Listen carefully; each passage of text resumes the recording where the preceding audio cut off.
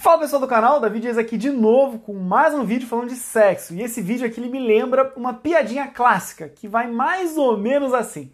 Tem três homens se vangloriando das suas experiências sexuais e da satisfação que as parceiras respectivas tinham, né? E aí o primeiro vira e fala: Cara, ontem eu dei cinco com a minha mulher. Ela ficou tão feliz que ela trouxe o café da manhã na cama hoje. O segundo vira e fala: Cara, ontem eu dei quatro. Cara, foi muito intenso. E aí na manhã seguinte a minha mulher disse que estava morta, mas que me amava e que hoje ia me fazer uma surpresa, poxa, maravilhosa. O terceiro vira e fala: Cara, ontem eu dei uma só. E os outros dois: Só? Como assim?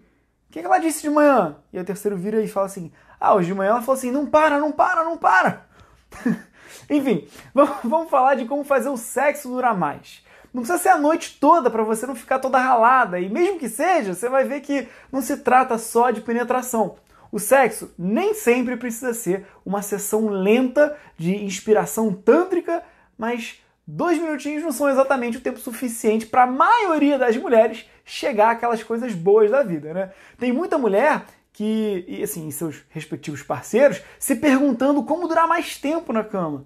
Então não existe uma definição científica da duração ideal, sabe, de uma sessão de sexo, mas tem uma pesquisa com vários terapeutas sexuais que foi publicada no Jornal Sexual de Medicina, né, que deu Sexual Medicine Journal, que de 3 a 7 minutos é a sessão adequada, mas que de 7 a 13 é desejável.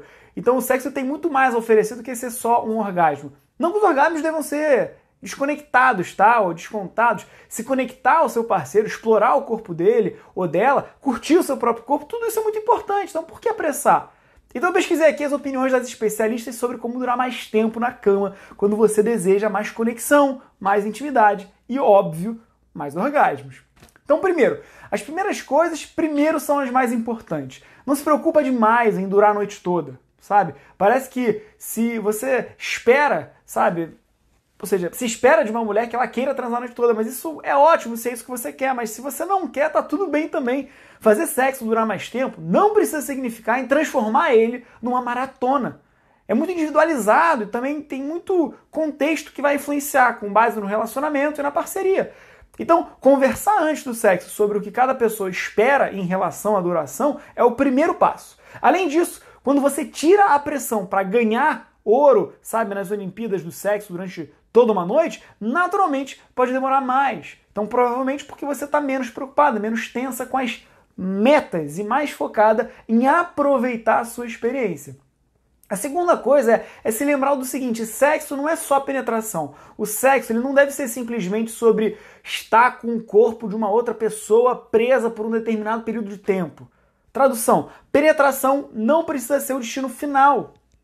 Uma analogia interessante é comparar o sexo com um bolo de camadas com uma cereja no topo. Então você pode começar com um pouco de glacê, depois saborear um pouquinho de chantilly, e aí depois um pouquinho da camada de biscoitos, e aí um pouco mais de chantilly, recheio, e vai variando, variando, variando, variando, e mais em frente vai incluir a cereja do topo, que seria exatamente a penetração.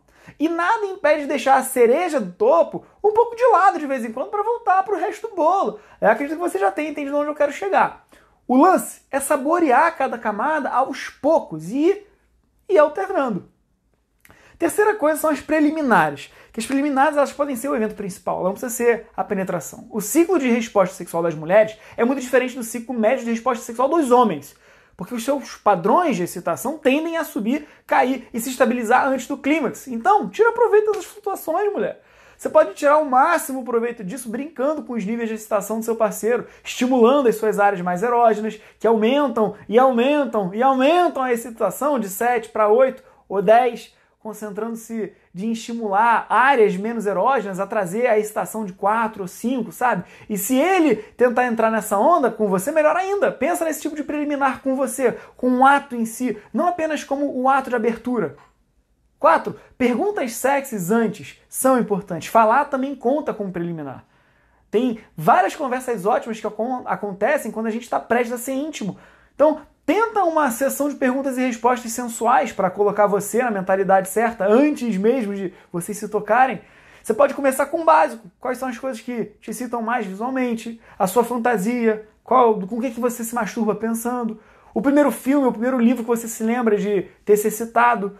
Esse ping-pong ele pode ser realmente divertido e emocionante, além de diminuir o ritmo, prolongando assim a experiência do sexo. 5 é tentar novas posições. Se e quando finalmente você for à penetração, não fica só numa posição do começo ao fim, sabe? Sabe? Não, não tem problema. Mudar de posição e tentar diferentes tipos de estimulação podem proporcionar excitações contínuas e diferentes, mas talvez não a ponto do orgasmo.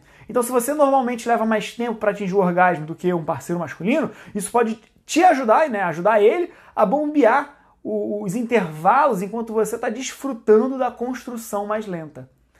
Seis é segurar o orgasmo. Quando um homem sente que está prestes a ejacular, ele ou você pode pegar logo abaixo da cabeça do pênis dele e apertar suavemente por uns 5 a 10 segundos. A pressão na uretra e a constrição do fluxo sanguíneo vão ajudar a reprimir o orgasmo. O objetivo é interromper um orgasmo naquele momento para os homens, sabe? E para as mulheres imediatamente antes do clímax. Demonstrar, demorar um pouquinho do momento para poder se acalmar e recomeçar de novo mais para frente, levando um orgasmo incrivelmente mais intenso. A sétima dica é cuidar do seu corpo. A forma como você trata o seu corpo pode afetar drasticamente a sua capacidade de desfrutar uma boa e longa sessão entre lençóis, entre lençóis de sexo. O exercício regular ele promove melhor fluxo sanguíneo, sabe, tanto para as mulheres quanto para os homens. Então vocês dois vão se sentir mais saudáveis, vão receber endorfinas e vão ter resistência a bônus na hora do sexo. Parar de fumar e limitar o consumo de álcool também pode ajudar a melhorar essa resistência, especialmente para os homens. Um sistema vascular saudável ele é essencial se o homem quer ter uma ereção confiável e forte. Pode usar depois. E nisso, fumar não ajuda. Então, uma bebida ou duas é boa, mas se lembrar, cara, álcool demais é depressivo e pode afetar ó, o apetite sexual. A oitava dica, muitos homens vão criticar, mulheres também, mas é usar a camisinha. Os preservativos por si só não apenas são vitais para prevenir as DSTs, mas também podem te ajudar a fazer o sexo durar mais tempo. Então, para a maioria dos homens, um preservativo ele diminui a sensibilidade do pênis. Quanto mais grosso o preservativo, menos ele se sente né? Ele sente contato e mais tempo vai levar para ele chegar no orgasmo. Os preservativos, eles têm todas as espessuras diferentes, variando de 0,05 até 1 milímetro. E se você está procurando uma camisinha grossa para diminuir a sensação, e nunca, no entanto, nunca coloque uma sobre a outra, beleza? Essa é uma receita para escorregar e rasgar os preservativos, porque se você botar os dois, cria atrito e rasga. Então não é isso que você quer fazer. 9. Fortalecer o seu assoalho pélvico. Os exercícios de casual, eles basicamente eles ficam apertando os músculos do assoalho pélvico como faria para fazer xixi, sabe? Esses exercícios podem ajudar a aumentar a sua excitação. E aí, quanto mais fortes os músculos do assoalho pélvico, mais forte o orgasmo. Os homens, eles podem fazer a própria versão do Kegel para eles, tá? E aí os estudos mostram que os exercícios de Kegel, Kegel, Kegel, eles podem ajudar os homens a melhorar a força da sua ereção e ajudar na ejaculação precoce. Então se ele tiver com probleminha, manda Kegel para ele. 10 é respirar fundo. Você pode fazer pausas durante o ato. Ou abraça, massageia, conversa, ou até, sabe, toma banho durante o sexo.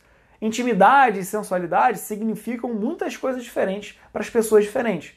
Talvez sejam atos sexuais explícitos ou talvez não. Um banho, por exemplo, ele não precisa significar que o sexo acabou. Ele pode ser parte da experiência sexual em andamento. E aí uma pausa quente antes do orgasmo número 2, por exemplo. Número 11 é arranjar tempo para realmente gostar de sexo. Você tem um monte de tarefas durante o dia e aí a sua tendência é fazer tudo se encaixar. E aí não é surpresa que a noite chega e você não tem tempo para uma longa sessão de sexo, seja porque você está cansada ou porque você precisa acordar cedo no dia seguinte. Se você quer que o sexo dure mais, reserva um tempo para que isso aconteça. Cria uma janela grande o suficiente para relaxar. A maioria das pessoas deixa muito pouco tempo para um encontro exploratório suculento. Você pode estimular novos lugares no corpo, sabe? Seu parceiro, seu, e experimentar diferentes níveis de pressão. Coisas que exijam, sabe? Que exigem, na verdade, tempo e intenção. Beleza? Bora colocar na prática então e ter sessões de sexo mais íntimas, mais duradouras, mais gostosas. E eu vou ficando por aqui, pessoal. Beijo grande. Se você não for inscrito no canal, se inscreve, porque todo dia eu trago uma dica nova e a gente se vê amanhã.